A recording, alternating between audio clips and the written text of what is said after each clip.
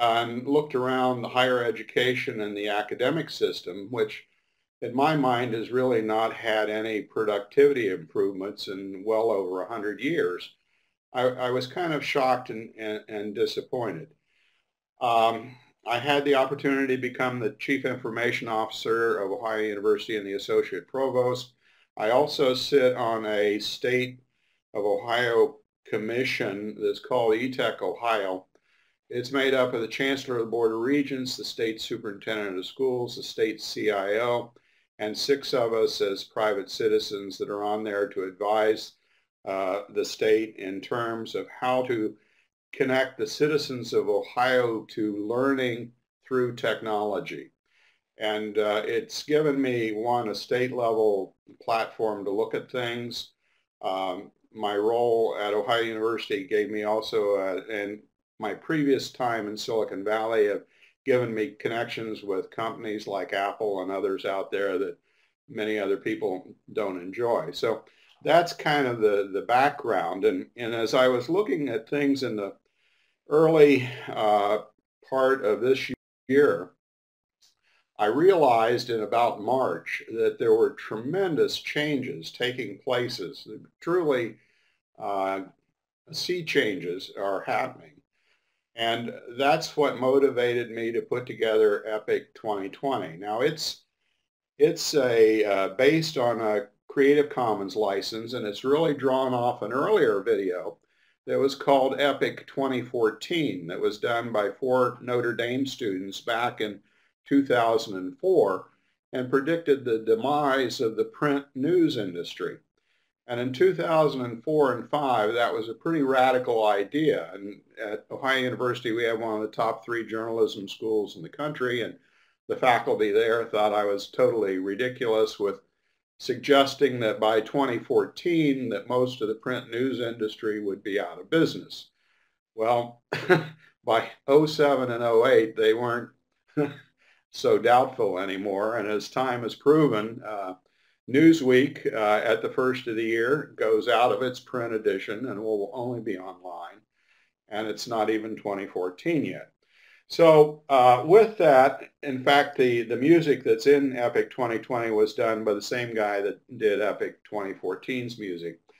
Uh, but I used that model as kind of a futuristic, um, provocative conversation starter because I wanted to put something out that caused people to stop and question their educational paradigm perspective and to realize that there are changes coming and there are other ways to do things and that the way things have always been done is, is just not a satisfactory answer anymore. So um, I created Epic uh, 2020, put it out on the web in June. Uh, this week it's past 61,000 views of people checking it out from 125 com- countries. And uh, I think I'm pleased that I think I've started the discussion that I hope to, to start.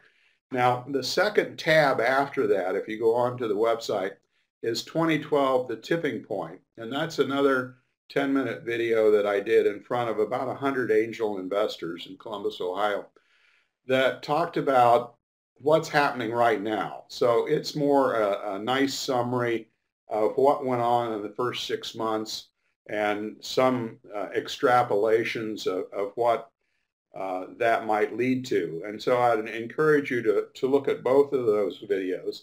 And I've tried to make the website a resource for people that are interested in transforming education. And it, it's, it's stuffed with a lot of uh, uh, national reports and uh, articles and things like that. So I'm trying to save people time and, and figuring out what's going on in that. However, in the last few months, the rate of articles and things has gone so high that I've almost quit trying to add them because I would be adding a, a dozen or so every day. And that's where I would suggest that if you're familiar with the Gartner hype cycle, that MOOCs are, are climbing what they refer to as the peak of inflated expectations.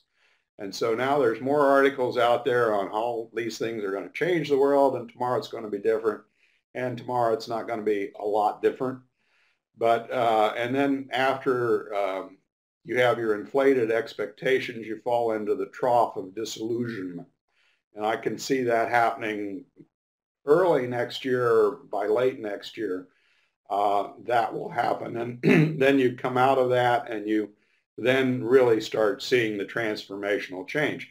So I would say that, that the traditional universities right now, that the time is nearly run out for them to start responding to the coming changes, mainly because their reaction times are so extensive and the changes, while they won't be this year or next, they will be starting to come in soon after that.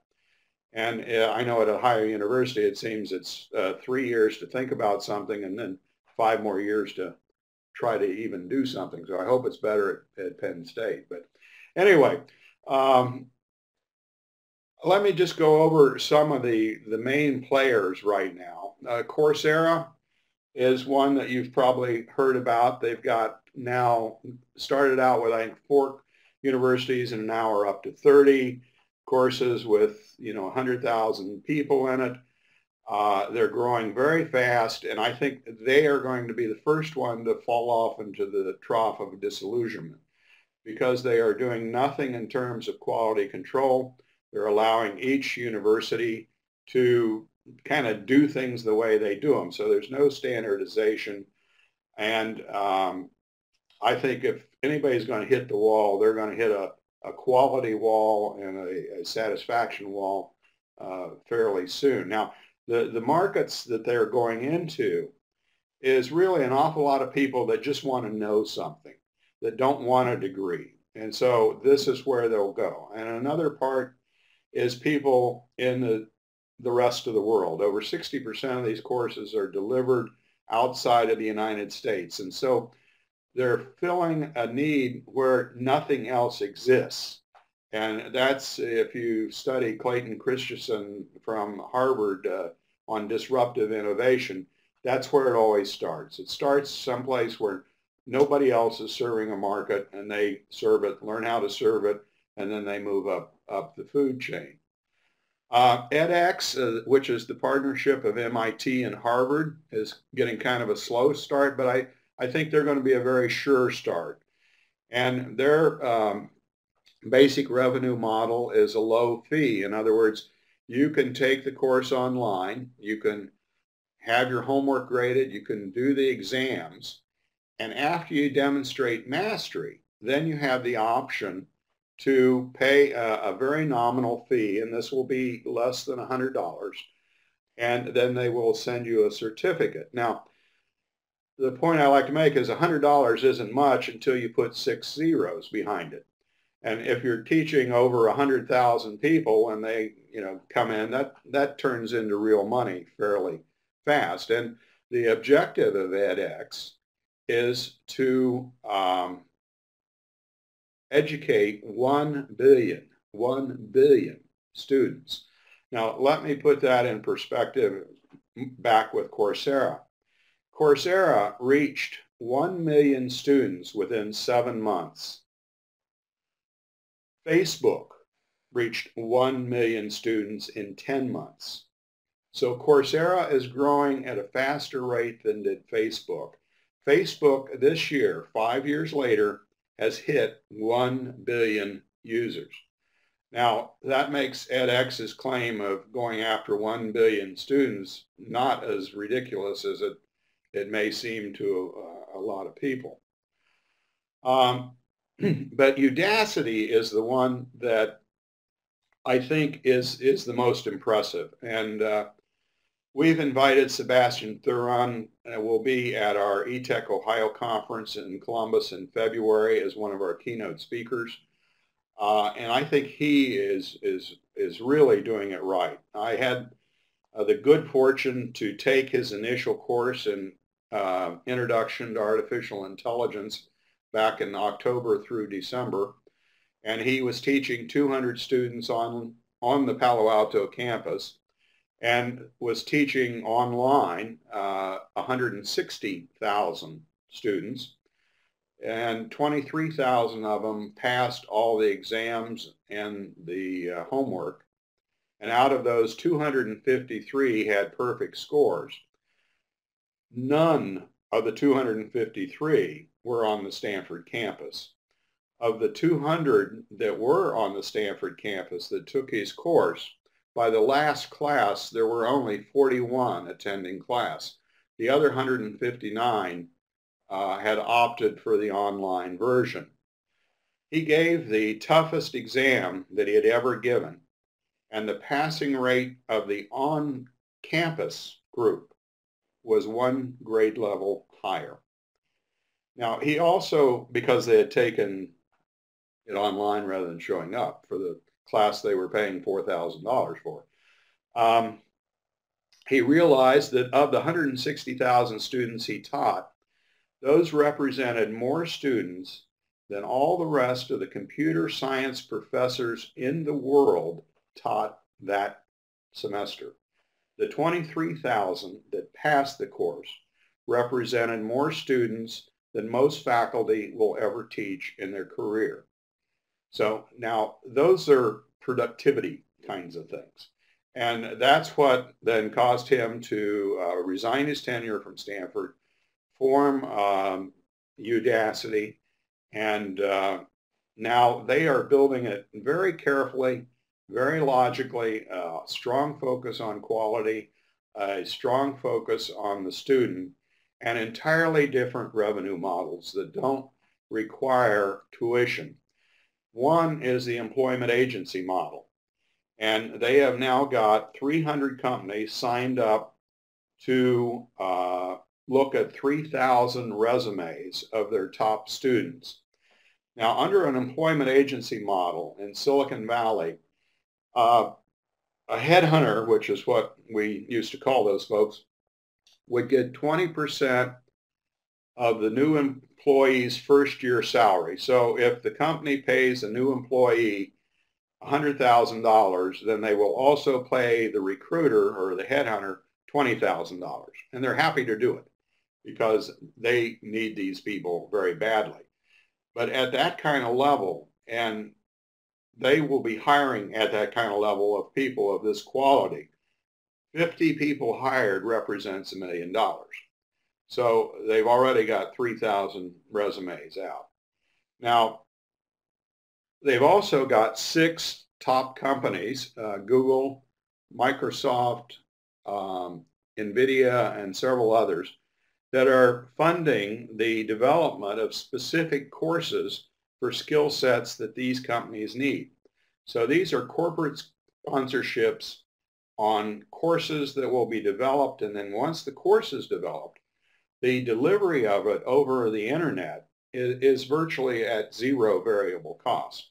So it's really kind of a Cisco Academy expansion of, of training people. And I was involved with Cisco when they initially created the Cisco Academy. And when they uh, looked down the road, they realized they had a need over the next five years to have 500,000 people trained in how to use their equipment.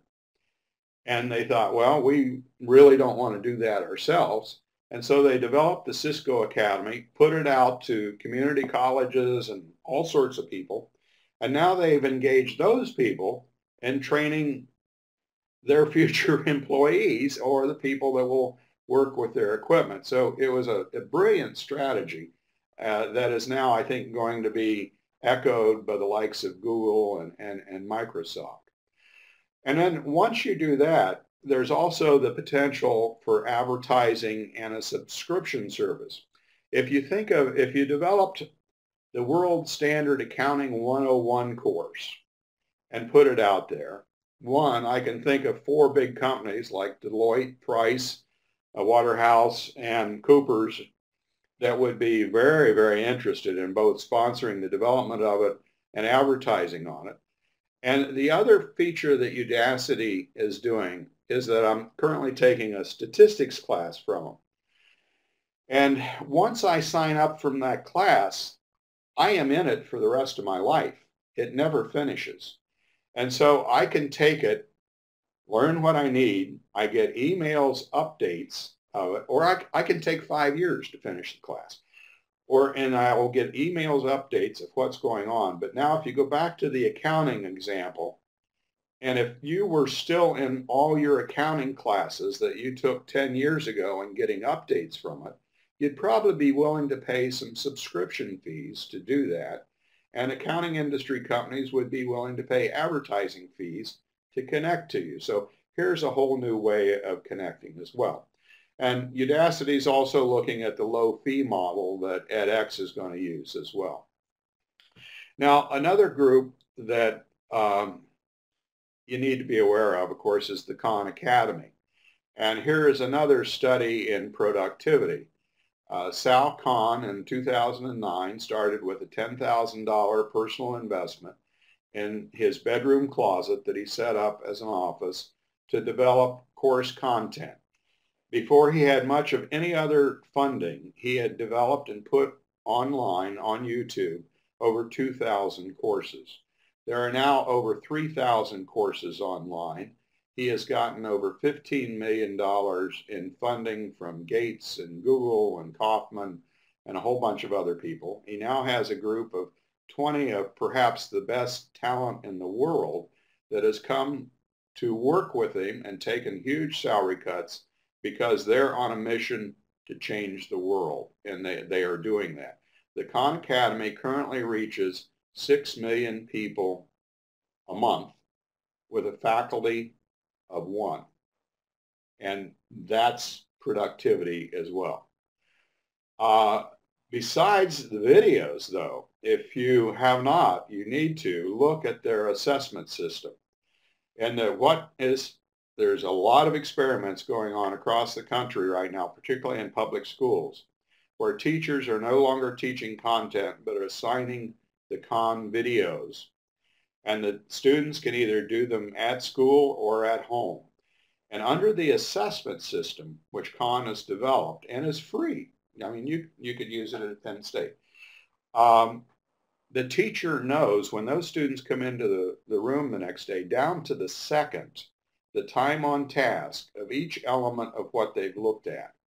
They have to get 10 sequential right answers, demonstrating mastery, to move on to the next topic. And as they come into the class, the teacher has this wonderful dashboard, color-coded, and knows that typically out of a 30 student class, 25 to 26 will be getting it in, and the artificial intelligence in this program uh, has a, a, very sophisticated way of, of understanding when a student's in trouble or if they're just kind of stuck on something or if they're doing okay. So the student or the teacher now can focus on the ones that are, are stuck or having trouble. And the ones that aren't can continue to go on at the rate that they're going on at. So this is an incredibly powerful system. And then last time I talked to the folks there, um, they're working now on a new platform that will probably be out in another four or five months. And it will automatically do translations into eight different languages of all the Khan Academy materials. Now, this is materials in math from 1 plus 1 through calculus, trigonometry, linear algebra, statistics, all those kinds of things, and, and many other courses. Um, so there's a whole new approach that uh, right now people are looking to supplement the traditional system with it, but in many of their prototype experiments, uh, they are actually replacing much of the traditional system. And, and the teachers are excited because they are no longer regurgitating content for a bulimic testing exercise. They are actually able to work with the students that have the problem. And, and this is a much more satisfying role for most teachers. Uh, so it, it, it's not viewed as a negative at all. Khan Academy may also buy a school out in Palo Alto where they will actually create a research center where they can immediately implement new concepts, test them out, and, and see what the results are. And, and that's another power of the system. When you're dealing with more than 100,000 and starting up into the millions, you now have information on how long does it take somebody to understand what you're trying to get across. And you can then start asking yourself, okay, video six needs improved because people are spending way too long trying to figure that out. We must not be communicating well on that and, and things like that. So um, that's where I, I, that's kind of the, the background of where the industry and things are right now. And maybe this would be a, a good time, Kyle, to just stop and see if there, we got some questions because then I've got some suggestions for uh, how Penn State might think about these things. Great, Bill. Thanks for that introduction. If anyone has questions, please type them into the chat box. Larry has one. He doesn't need to type because he's in the room with the microphone. Go ahead, Larry. So I'm wondering, Bill, as you look at these um, three or four different models that are emerging, what what are the key differences between these systems that um, that distinguish one one from the other? Uh, for example, I suspect you're going to say the word quality. Uh, you, you mentioned um, both the Khan Academy and Udacity model having a higher quality. Are there other variables that you would point to or see as unique differences between these different uh, methods? Um, I think those are the two, but there are others that are coming. I mean, these guys are just beginning to scratch the surface. I, they really have not included um, engagement concepts from the computer gaming industry at all. And, and once they start bringing those in, I, you have to appreciate that when you're talking in the public school system, students sit in class for what, a little over around six hours a day. They spend that much time with Sony and Nintendo as well. So these folks have already learned out how to capture them for equal amounts of time. Now, if you put some productive education into it, it, it gets even better.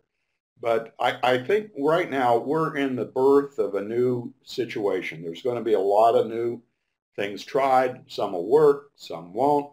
But every failure will be a, a step forward in, in improving what gets done. And, and that's the key that I see in these. It's you got to be doing things and it's just as valuable to fail as it is to succeed because you know you, those failures are things that you can set aside and and profit from and and move on from there.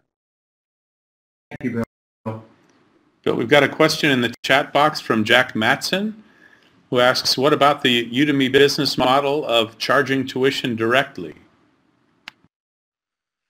Um, yeah, and Udemy um, versus Udacity, I've hardly even kept track of them because they're, they're probably, to me, they're just another low-cost online kind of course. I mean, if you go on to iTunes University, there are uh, 800 schools that have stuff up there. Some of it is, is quite good. There's some stuff from Harvard that is outstanding. Um, but others, it's the sage on the stage video. And that just doesn't do it. I mean, if, if you compare that to the movie industry, I when motion pictures were invented, the early movies was a fixed camera taking a picture of something happening on a stage. I mean, it was the paradigm of you're sitting in a seat and you're watching a stage performance. Well, pretty soon they figured out they could move the camera, then they added audio, and then they added color, and now they've added animation and, and telling something physical from digital now is, is almost impossible. So uh, we're back at the fixed camera taking a picture of the stage as far as I'm concerned that's wide open for innovation. Thanks, Bill. Now the uh, the next two questions really come down to K-12. So Jason asked, uh, mostly we've been talking about what will happen in higher education and outside the K-12 domains. How will these changes affect how K-12 will be taught? And then right below him, Larry asked pretty much the same thing. How do you see this extending to K-12 and university acceptance of these models being used at that level? In other words, uh, you know, from people from two different countries are wondering, okay, so we've been thinking a little bit about, about higher ed. Talk to us about K-12 for a moment, if you can. Yeah, and I'd like to talk more in terms of um, K to grade. And we talk about lifelong learning, but we have very few structures set up for lifelong learning and non-traditional people. I, I see an education system that starts at about three and ends when they close the lid on you. Um, and, uh, you know, we all kind of philosophically talk about it, but yet we divide it up into these crazy sections that are really based on the Carnegie uh, industrial model. I mean, seat time is still the main measurement, which is absolutely nuts. I challenge anybody to show me a study that seat time correlates in any way to knowledge. And yet you've got, you know, three-hour courses and four-hour courses, five-hour courses. You're still measuring seat time rather than learning. So in my view, education has served us well up until this point. But now with the technologies that we've got, we can we can go an order of magnitude above what we're doing now.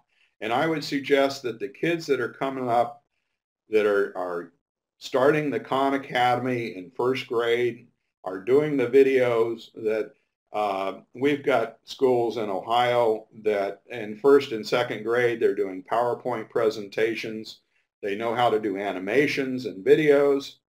I, these are this is a new world of young people coming up. Now, unfortunately, there are just a few of those, and then we've got places like where I live in Appalachian, Ohio, that are are a decade behind. So uh, the disparity is the biggest problem.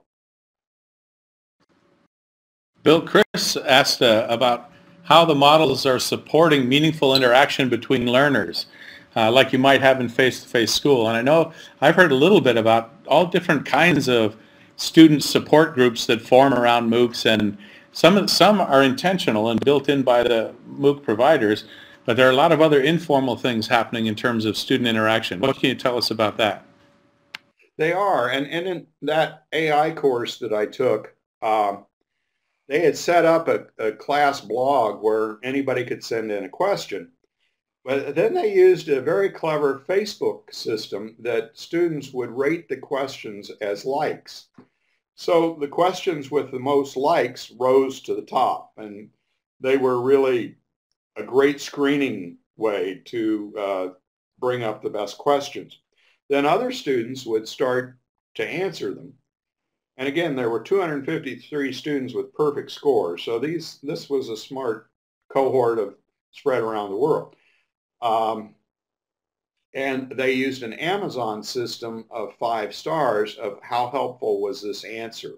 So the students were then, in essence, teaching one another through this system. But in addition to that, there were all sorts of uh, social network groups that sat up, set up that became established that helped one another. There's a, a classic story of uh, a 12-year-old in Pakistan that was taking one of the physics classes that uh, when the uh, video came up about um, that uh, upset all the Muslims of, of um, a problem with that YouTube video and Pakistan cut off YouTube literally in the middle of her final exam. And she tweeted that she was having a problem and people from Finland and other places got together and provided her the information she needed to finish her, her um, exam. So these are using the social network. Now, yeah, it doesn't have the face-to-face kind of thing. It, and that is one of the things that, you know, uh, the traditional area can, can really look at. But having um, gotten three degrees myself, I think uh, the face-to-face time I had and spent in many classes is significantly overrated, and particularly in introductory classes when you've got two or three hundred people. I think anybody that makes a case for there's great face-to-face time is uh, kidding themselves. Thank you. Uh, John Shank asks, are you aware of any innovative approaches to hybrid slash blended learning? Uh, I suppose Khan Academy could be one depending on how it's used by instructors. You see anything, uh, any innovative uses of hybrid and blended learning that we should uh, bring up in this context? Well, I was fortunate to have an involvement about 10 years ago at Ohio University with their um, MBA program Without Boundaries, which is was one of the very early blended learning programs. And um, was highly successful. I, I think um, this, to me, is probably a more optimum kind of approach um, in that having um, what we're really trying to do is teach people how to learn. And as you do that, then there's a tremendous amount of content that does not have to be provided in in a classroom situation. However, the classroom situation does offer the human interactivity that is very hard to get in many other ways.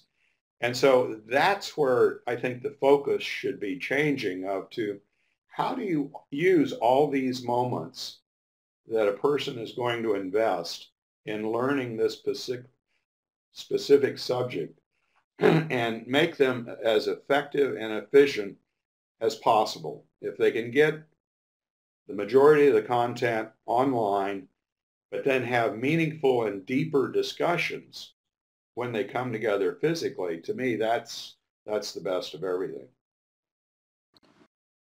Now, the next couple of questions, uh, I have one that came to me on a slip of paper uh, from a participant in the room.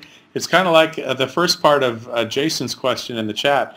You know, what will universities be able to do to survive? In other words, what, what's your uh, recommendation for universities? The one that came to me uh, by hand is said he interested in hearing Bill's views on how this applies to Penn State.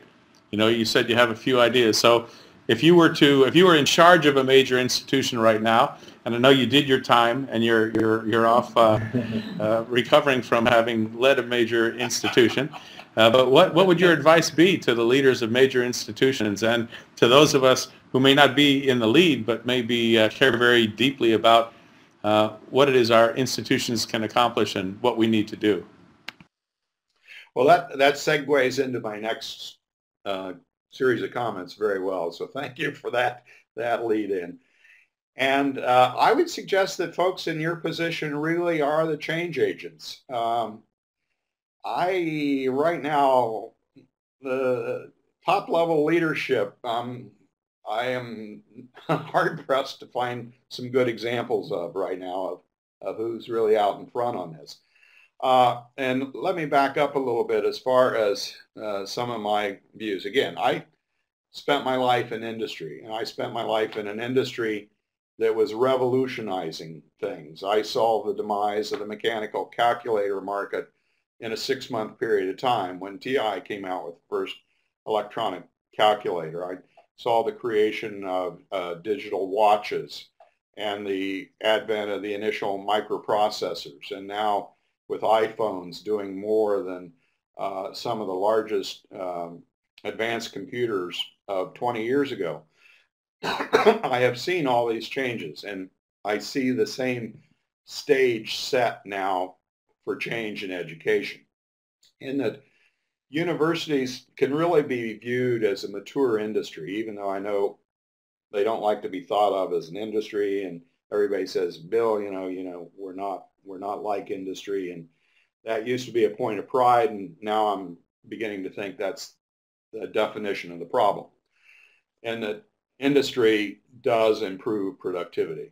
Um, but as a mature industry, the classic definition of a mature industry is they are risk adverse, they are self-satisfied, and often too expensive. And uh, that can kind of describe an awful lot of what I've seen anyway in, in traditional universities.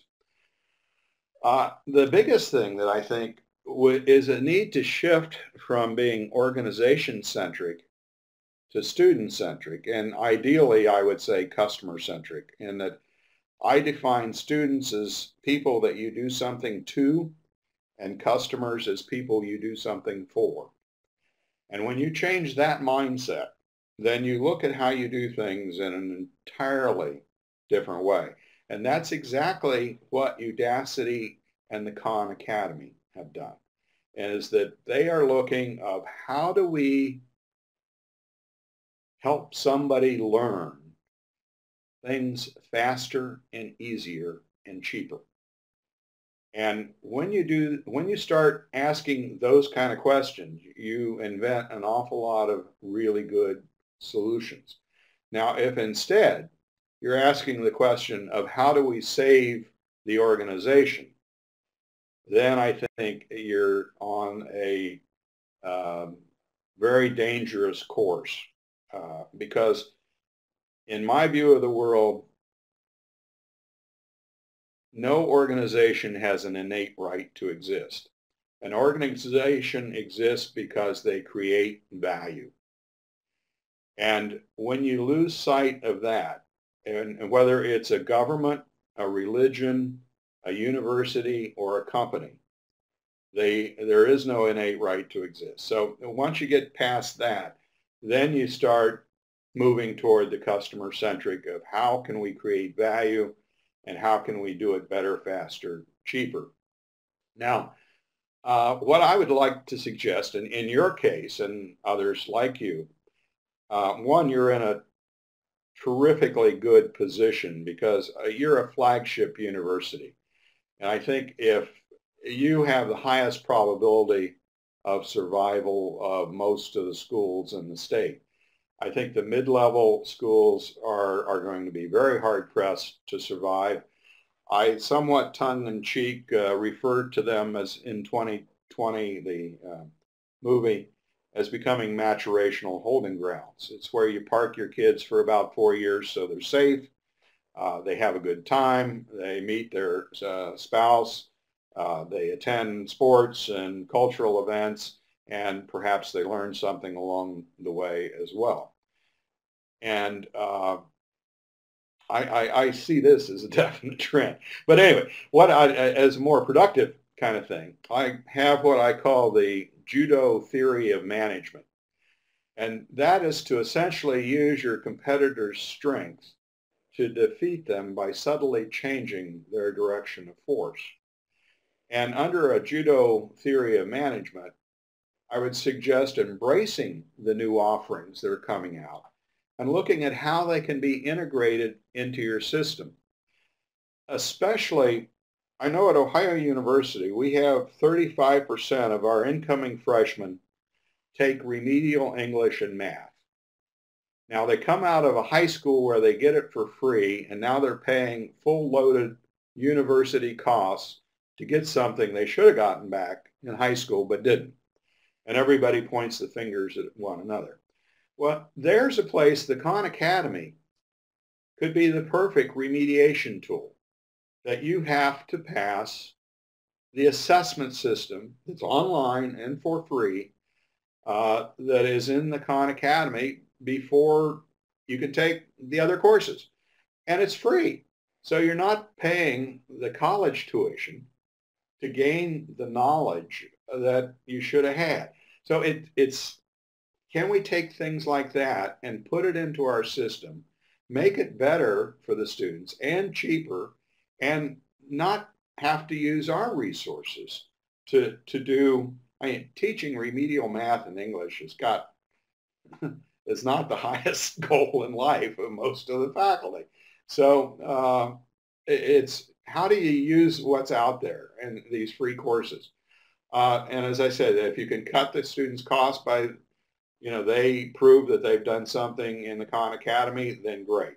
Uh, the Colorado State has got an assessment system now with uh, Udacity that if you can take the Udacity course Uh, you take their final exam and you get credit for Introduction to Artificial Intelligence for just the cost of the assessment. And I think particularly flagship schools like um, Penn State, if you were willing to do that and, and find, you know, I mean, you have to be convinced that if the people take these courses and can pass the same exam that they do uh, sitting in the course, why should they pay for sitting in the course? Now, again, putting on the customer-centric hat, that allows people to dramatically reduce their tuition costs, take more courses, accelerate their time to the degree, all of which should be good things. And I would suggest that the increase that you would see in people wanting to come to your institution far outweighs anything that you're going to lose in terms of the revenues and, and other, other things like that. You got some big smiles from uh, Pat Shope. She's our prior learning assessment person. And we have a question from Stephanie in the room. Do you want to take a question now or do you want to keep going for a moment? Oh, no, no, go ahead. Go ahead, go ahead Stephanie. All right, my question is about using um, Khan as a resource for remedial English, let's say, because there are what seems to be no good machine grading techniques for liberal arts courses or things like English. So what kind of paradigm shift do you see needing to happen before we can actually use it for things like teaching remedial liberal arts courses? Well, certainly, well, you, certainly you, you picked the, uh, the most difficult one. It, it's certainly easy for math uh, and the sciences and stuff like that. But in English and where you have more subjective kinds of things, there, uh, I think people are still struggling with how to do that. There are, of course, some things of peer grading and, and stuff like that, um, which if, if you really think about the course in, in different ways, um, Uh, in fact, that was one of the things that Sebastian Thrun got through in his first class. He was only allowing the students one try to get the correct answer on the, the little test vignettes that are done throughout any given presentation. And he realized that he was hung up on grading rather than causing learning. And once he got past that and said, I really want to cause learning, and the grading comes later. And so then he allowed students to try the answers until they got it right, and then he added videos for if you got it wrong, here's how to think about it, and, stuff like that. So English and, and particularly writing are things that um, just need to be done. And then ways need to be found. And, and I would guess that in the next couple years, artificial intelligence is going to get pretty good at uh, looking at the you know sentence structure and the grammar already, grammar and punctuation uh, things are there. But um, I, I, don't, I don't have any silver bullet for you on that one. It's it's still a, a developing area. We have a question here from Margaret. Says, how close are we to a major tipping point when a large corporation stops requiring an undergraduate degree and turns to competency-based education or digital badges? Uh, well, I would suggest the fact that Google and Microsoft and Envision, NVIDIA rather, um, are funding courses at um, um, Udacity that we're getting very close. You, have to appreciate the badges concept by Mozilla, the open source badges project. It was only launched, I think, in October of 2011. It's barely a year old. Um, I'm working with a company right now in uh, Columbus that's in high technology, uh, particular software development. And we've got massive discussions going on of how can we uh, develop this badges concept. Now, uh, on, on that area, unfortunately, Mozilla called it badges, which I think they've got a wonderful concept and a terrible terminology because the, the terminology really causes you to think of Boy Scout and Girl Scout badges and and things like that. And I think that's not the right way to think about them. In fact, the discussions I'm having with this company is that they should think of them like bubbles and that bubbles can expand that can represent increasing information. They can have a lot of other bubbles connected to them on the side. There may be even bubbles inside of bubbles. And it gives you a physical visualization that I think allows you to think about it a lot better than just badges. But bubbles have the same problem with terminology that badges have.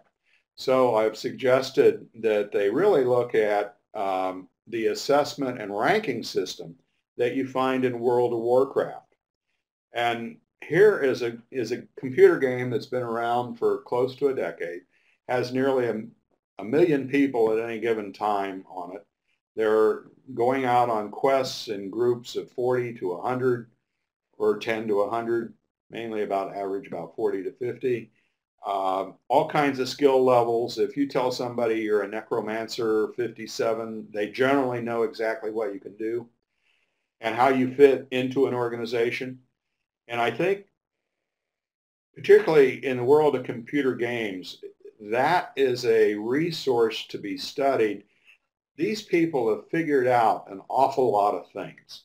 They have project management systems that are an order of magnitude beyond what exists in the typical corporation. Because you're not only man managing a sequence of events, you're managing art, you're managing uh, what's the engagement of the person that's doing this, all sorts of different things that the computer gaming people have figured out. Now, if we can figure out how to take what they know and how they do it and apply it to education, you've got then, to me, the the uh, the ideal.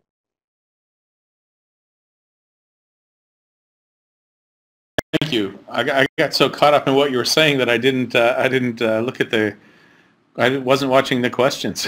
so I anybody have a question in the room that they haven't been saying? Stephanie, yeah, bail me out here. A comment um, back to K-12 and remediation there's uh, some thought out there that with the move to Common Core standards, companies will start producing resources that can be purchased and used at home for remediation and um, practice testing in order to be certain that students um, who have an interest can really do that from home. Um, yeah, well, certainly uh, companies like Pearson has finally um, woke up to the fact that they'd better start changing and get on the, the technology bandwagon or or they're going to look more like uh, Borders than uh, Barnes and Noble. And um, so, yeah, and I I keep wondering, and that's why I use the examples of uh, Google and Amazon and Apple I mean, higher education is an $800 billion market in the United States. Public education is an $800 billion market in the United States.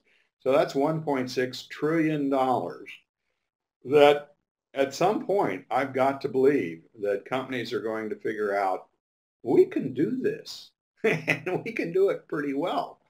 And um, I don't know when that's going to come. I, I think some other things that are going to happen, uh, uh like I put in EPIC 2020, is that as these free online courses come from MIT and Harvard and, and Stanford, and legislators look at, wow, the student debt is going off the charts. Uh, now there are articles coming out on the impact on parents and grandparents who have co-signed for student loans that have gone into default and are losing their retirement kinds of things. I mean, these are horror stories that are only going to get worse.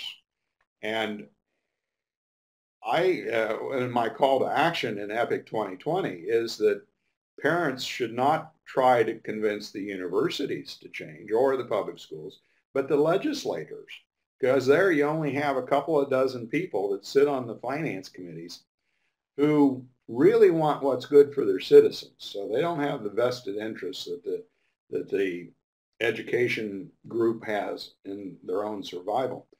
And if they start requiring that um, students can test out, uh, start requiring that they can't move forward until they reach a certain demonstrated level of capability, the Khan Academy does an excellent job on that. So uh, the dots are going to get connected over the next several years. Thanks, Bill. Larry asks, are there any examples of higher ed uh, institutions that seem to be getting it, that are actually incorporating MOOCs and, and other uh, innovations into their programs? You see some that are out ahead of others? Well, I think MOOCs are, are so new that that group hasn't happened yet. So I think, you know, you guys have got the chance to be in that group as well as anybody.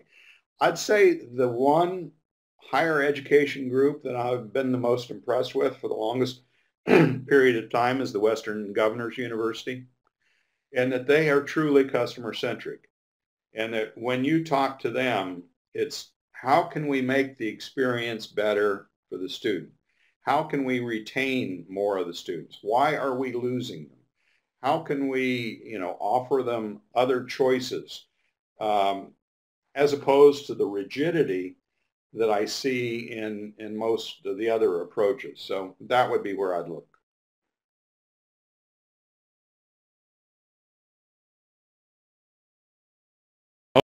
Okay, other questions coming through here?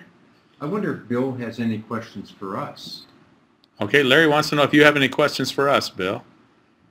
Oh, you, guys, oh, you guys, are, are good.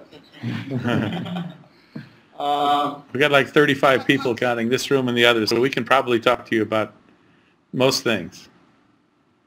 Uh, uh, actually, actually, not really. Um, uh, if you could turn off the, yeah, thanks. Um, but what I would like is to um, have you give some thought about an ongoing discussion, particularly with the things I'm doing with uh, the corporate clients that I'm starting to work with. Because I think that's the other big thing that's missing in higher education is that there's too much insulation from the, the corporate world and that what I'm seeing in this one particular technology company that I'm working with is a question of not just how do we develop the skill competency. I mean, the, the people they hire, computer science backgrounds, they're good programmers, and when they want to get promoted, they don't. And the answer that the company's been giving them is, well, there's a lot of other stuff that you don't have. And of course, the people ask, well, what's the other stuff? And they're really struggling right now to come up with an answer, but a lot of it's the ability to work on a team, it's the emotional intelligence level, it's the ability to communicate, it's the ability to listen, critical thinking, all of those kind of things come into it.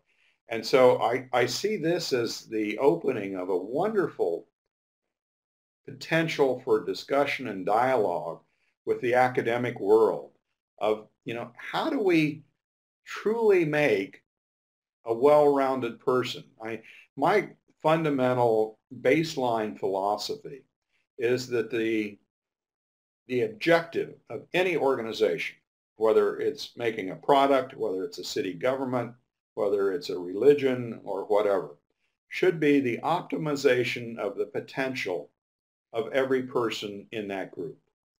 And if you set that as your foundation, then you'll make a lot of good decisions if you use that as the test point.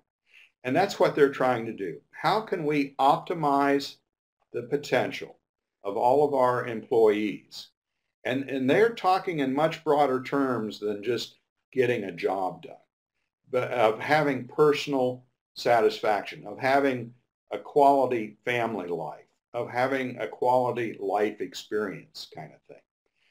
And um, so I'm seeing corporations deal with this because the knowledge worker of the 21st century is not the factory worker that uh, existed uh, in the in the 20th century. So um, anyway, I don't know if that helps or not. Yes, that was helpful. I, I, I see we're uh, running up against our time frame, but if there are a couple of other quick questions, please feel uh, free to blast one into the chat box. By the way, I, uh, while you're coming up with other questions, I'd just like to say that we'd love to have Bill come visit us. He's currently on the West Coast and he's rambling and uh, uh, one of my goals is at some point in the next year to, to get him out here for a face-to-face day and a half or two days or whatever we can get. So keep that in mind. Keep this in mind, Bill. Uh, when, when your schedule looks good, know that we want you to, to come visit face-to-face as well. Okay, question Okay, about what? I will- I'll be back. Go ahead. I'll be back in Ohio in uh, March. Um, we just don't do winters there anymore. We'll be heading off to Mexico for a couple months here pretty soon. It's 45 degrees here today, Bill. And rainy and gray. Oh, you you got more than 45? Oh, never mind. Okay, uh, so Stephanie's wondering if you can tell us more about the Ohio conference. Is there a conference you? Oh, oh, Yeah. If you go, go online to eTech Ohio, um, I think it's .gov, but just Google eTech Ohio, and the conference will come up, and then it's in February, and um, Sebastian Thrun will be the keynoter on Wednesday. It's, it's a three-day conference, Monday through Wednesday. We usually have about 6,000 people attend. Uh, there'll probably be 2,000 people attending his keynote speech. We have uh, 300 breakout sessions over that period of time and 200 exhibitors. And it's probably one of the top three academic technology conferences in the United States. So it, if you can make it down to Columbus uh, or over to Columbus, uh, it, it's well worth it. Great. We can probably even work out a bus or something. Columbus, uh, not Here that far away, yeah. as you know. So, well, I'd, I'd like to, uh, I hate to cut this off, but I, I uh, asked you for an hour and you were gracious enough to give us an hour. I know people have carpools, probably need to jump in. But I want to uh, end by just thanking you uh, sincerely for spending time with us and sending the wake-up call and uh, for perhaps coaching us uh, through the next uh, few months and years as we uh, try to make sense of this. Uh, the big takeaway for me was your was your uh, urging us to, you know, think about the customer and not think about how to save the institution, but how to serve the serving the uh, learner and how to incorporate uh, that into our philosophy, and that will uh, doing that is what will preserve the institution. So. Uh, we don't have a right to survive. I heard you say that, and I understand that, and I agree. And I think we all need to uh, figure out how to reinvent uh, ourselves given these tools and uh, to rethink the services we can provide. So Bill, uh, thank you very much on behalf of the 35, 40 people that saw you now. We did record the session. I was always, as always, a couple minutes late getting it started, or a minute and a half or so. Just missed a few few pieces. But uh, it will be posted so that people who can who weren't here uh, can see it. So if all of you will uh, uh, who saw it would just tell people that we are going to post it, and we'll uh, we'll post a recording. And thanks again, Bill. Really appreciate your Thank work. you, in Bill. this. And my goal in life is to help people like you be successful. So anything that I can do, I'm, I'm more than happy to do it. And if you'd be sure to send me a link to that, uh, I will uh, redirect other people to the, your site as well.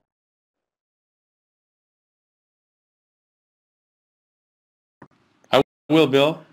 Thank you very much. Bye, all. Thank you all. It's great turnout. We uh, hope to see you in other uh, sessions we run. Thanks a lot. Thanks, folks.